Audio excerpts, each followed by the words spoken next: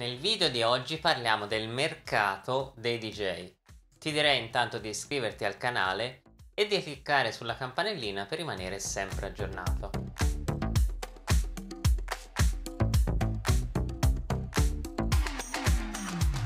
Il video sul mercato dei DJ è stato uno dei primissimi che ho fatto su questo canale. Ne è passata un bel po' di strada, molte delle considerazioni sono le stesse, però è arrivato il momento di aggiornare un po' il contenuto, anche in virtù di questo straordinario, tra virgolette, 2020.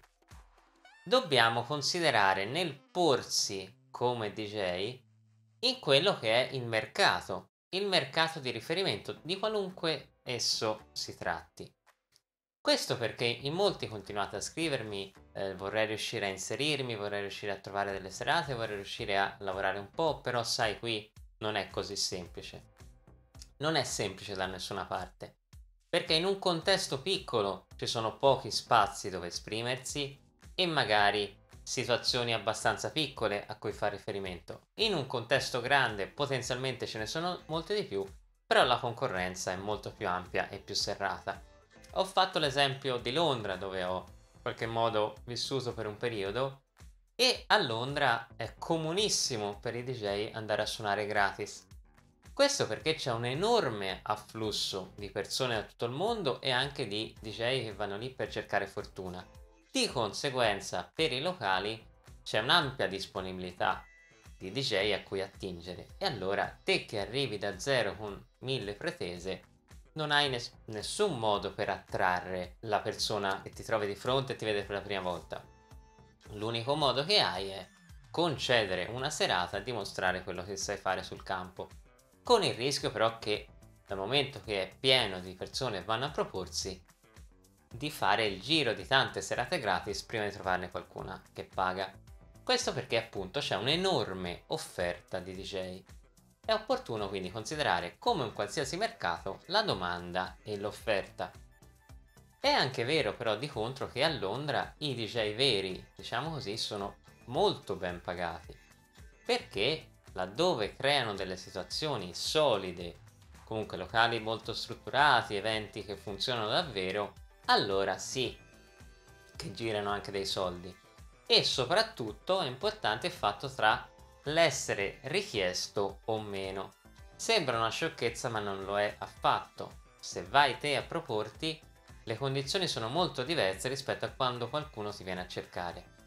E al di là del fatto che tu possa un po' forzare la mano o chiedere di più, è proprio si ribalta il, l'approccio. Se la persona ti cerca è interessata a te per qualche motivo e allora in qualche modo hai il coltello dalla parte del manico.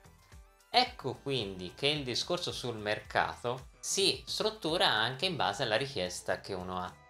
La richiesta è il principale elemento scatenante per riuscire a strappare un buon prezzo e ne abbiamo parlato sul video sul farsi pagare.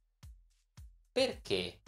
Perché i DJ non mancano, soprattutto oggi che è molto facile quantomeno iniziare a farlo.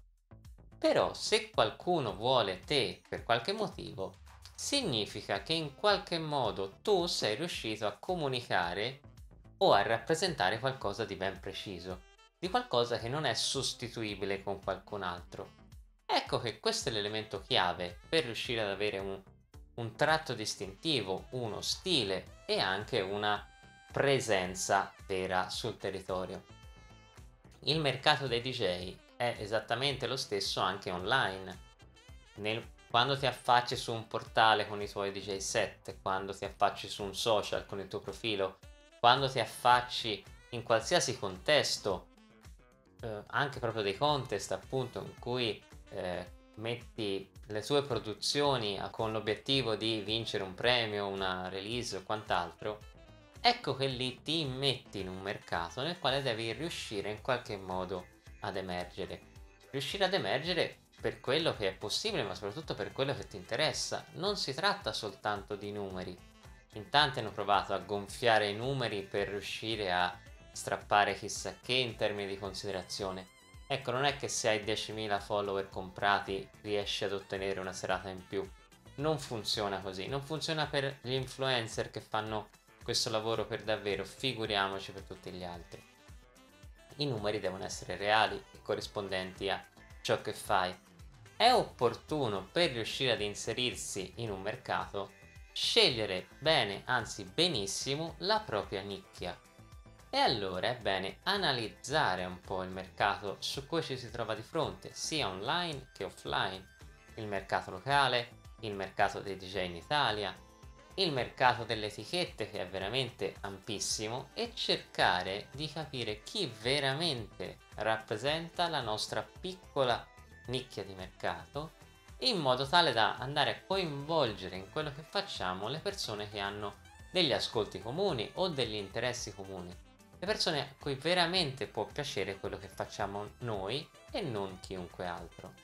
Ecco che se vogliamo riuscire ad orientarsi in questo mercato così caotico e così sempre pieno soprattutto dopo l'enorme stop che c'è stato in questa prima parte dell'anno, dobbiamo ripartire dalle nicchie, quindi studiare chi veramente ha i nostri elementi in comune, i nostri stili, i nostri gusti, che apprezza quello che apprezziamo noi e cercare in qualche modo di darglielo, darlo loro e di farsi riconoscere per quello in maniera netta e decisa. Fammi sapere cosa ne pensi nei commenti e continua a seguirmi qui su Essere DJ Oggi. Mm-hmm.